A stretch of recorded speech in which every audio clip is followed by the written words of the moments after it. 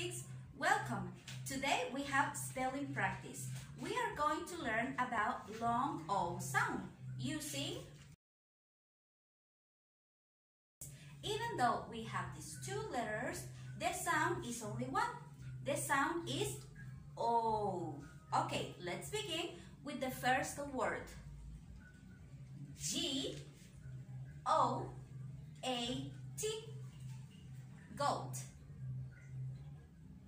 R O A D road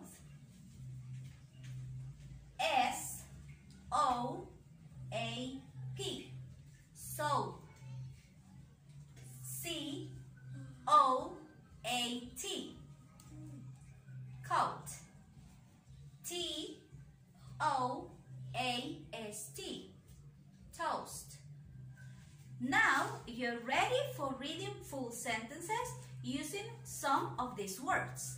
Let's see. A toad is on the road. A toad